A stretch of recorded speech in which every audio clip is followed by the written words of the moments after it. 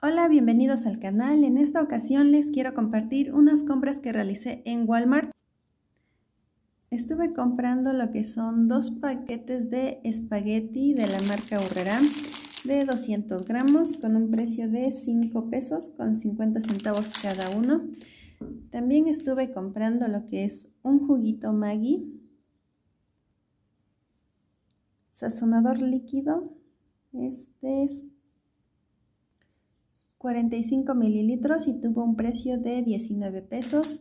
También estuve comprando dos refrescos de la marca Urrera, uno de manzana y uno de piña con 3 litros cada uno.